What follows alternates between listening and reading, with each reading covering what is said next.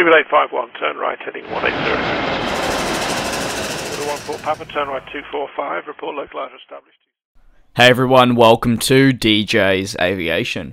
After covering why Boeing start their aircraft names with a 7 and also ends it with a 7, today I wanted to explore the same sort of thing with Airbus. Why do Airbus aircraft start with an A and then have a 3 follow? This is excluding the A220, which recently joined the Airbus portfolio of aircraft. Airbus over the past few decades have continued to expand their aircraft portfolio and introduced new state of the art aircraft, like the A350, A320neo, and A330neo. In addition, we've witnessed Airbus launch the largest passenger plane in the skies, being the A380.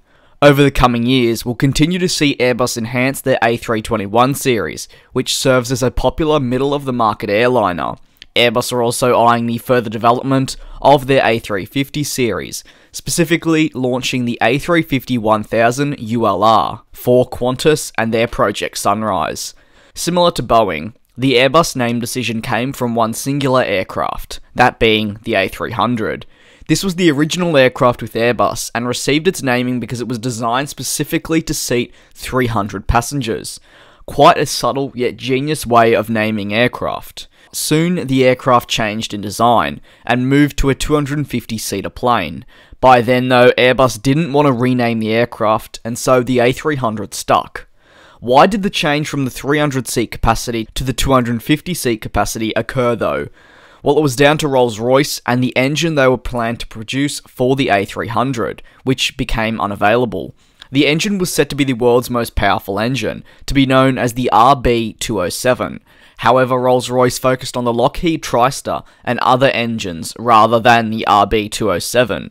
Therefore, they were never able to truly dedicate time to begin the production of this RB207, and this was in the time frame that Airbus wanted it.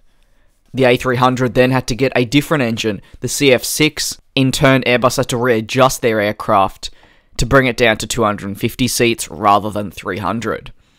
Airbus did not undergo big changes structurally like Boeing after the closure of the Second World War, at least it hasn't been noted, but it did continue to develop jet aircraft which increased the speed of flying. At the same time, Airbus developed rocket technology and further jet power. A question a number of you may have now is why do their military aircraft have the designated 400 number, like the A400M? Well, very similar to Boeing, Airbus would have designated specific numbers for the type of aircraft they were offering. For instance, 300 and now probably 200 would be solely for commercial aircraft, while the 400 number was chosen for military aircraft. That means if Airbus released further military aircraft, they would likely be in the 400 to 500 number range, and be something like the A450, A480, and so on. If they wanted to launch more commercial aircraft, would potentially see the A360, a370, A390, and so on. This doesn't yet explain why Airbus had the A310 at their disposal. Why did the aircraft jump in 10 numbers? Why wasn't it the A312 or the A317? Well, originally Airbus planned for a shortened fuselage A300, and the name designated back then was the A300 B10. Airbus didn't believe this well sounded good enough, especially in a marketing sense, and selected the A310 as its formal name. Marketing is crucial to the success of any aircraft, and it is of paramount importance that one selects a name that is easily recognizable, easy to remember, and most of all, simple. From that point forward, they continued to name their aircraft by multiples of 10. This is how the A320, A330, A340, A350, and Airbus A380 were all born. Currently, Airbus has the A360, A370, and A390 all available to them if they deem further aircraft are necessary.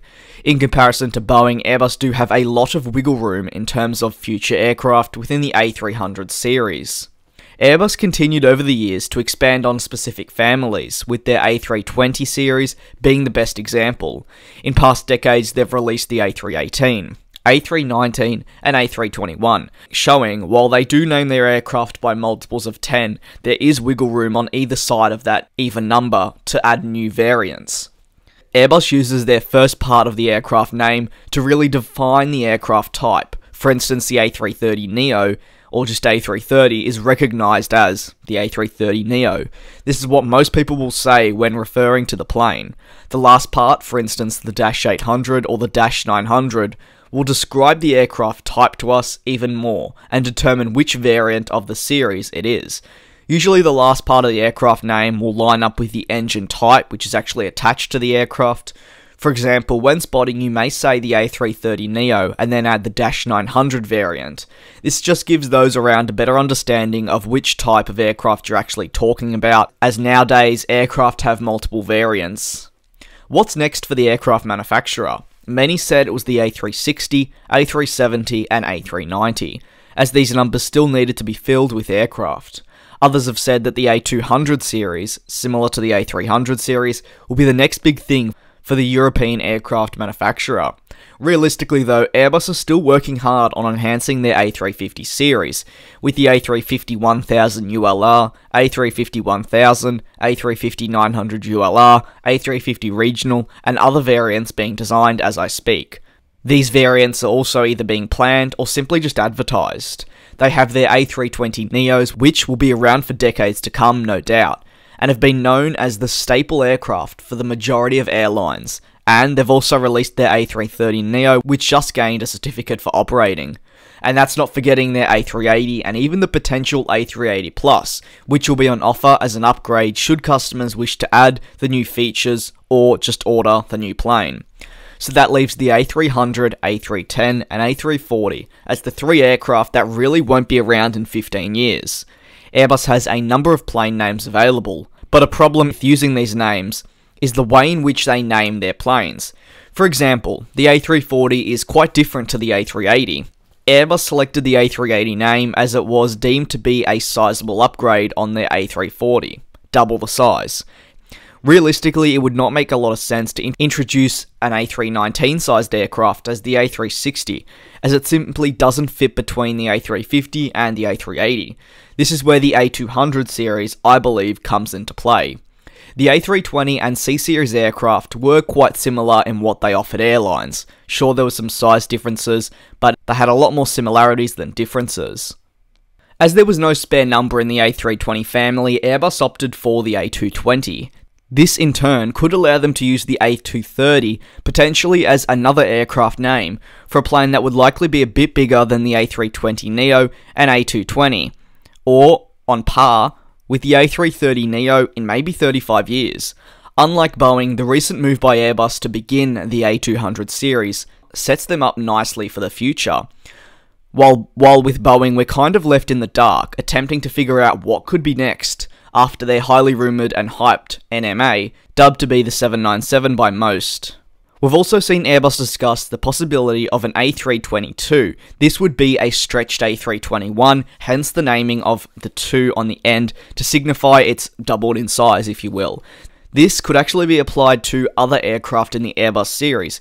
For instance, potentially an A331 Neo, even though it does sound very weird. Maybe an A351. It does sound really silly saying it now, but the A322 would have been quite an odd name to hear 10 or so years ago.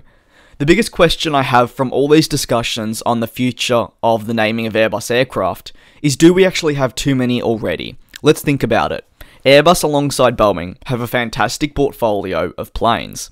Airbus have a single old jet, they have their A330 Neo to compete with the 787. They have the A350, and then they have the A380. This covers almost all aspects of what the aviation market deems necessary in 2018.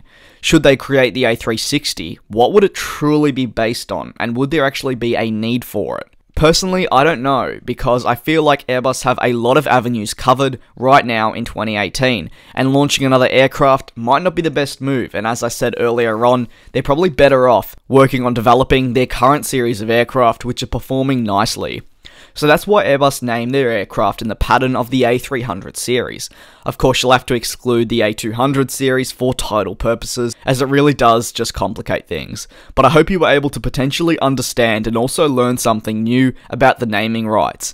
While I've shared what I believe will be next for Airbus, let me know what you think will occur. Will they leave the A360, A370, and A390 untouched for a century or something? Will they move straight to the A200 series? Or is that A220 just simply a one off? Let me know in the comment section below. Once again, I'd like to thank you very much for watching this video of mine, and I do look forward to you all joining me in the next one. Race all of these broken dreams in flight And we'll fly